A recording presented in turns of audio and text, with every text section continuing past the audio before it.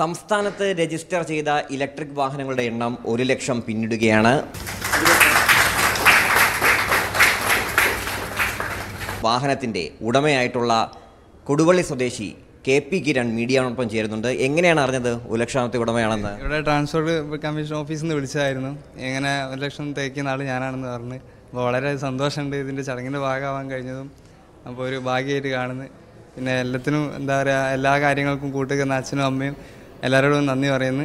എല്ലാവർക്കും ഇലക്ട്രിക് വാഹന ചരിത്രത്തിൽ കേരളത്തിലെ ചരിത്രത്തിൽ നോക്കുകയാണെങ്കിൽ അതിലിപ്പോൾ കെ പി കിരണിന്റെ പേരുമുണ്ട്. അതെ വളരെയധികം സന്തോഷമുണ്ട്. ഇതിന്റെ ഒരു ഭാഗമാകാൻ കഴിഞ്ഞതിൽ ഏത് വാഹനം എടുത്തത്?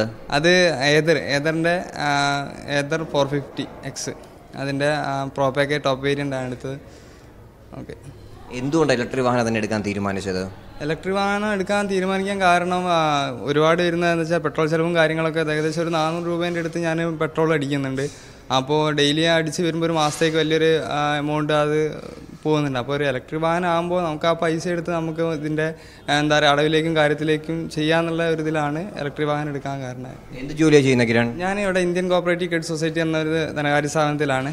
അവിടെ ആർ ഡി ഏജന്റായിട്ട് പോവുകയാണ്. ഈ ചടങ്ങിൽ പങ്കെടുക്കാൻ പറ്റിയ വലിയ സന്തോഷം തന്നെയാണ് സന്തോഷം.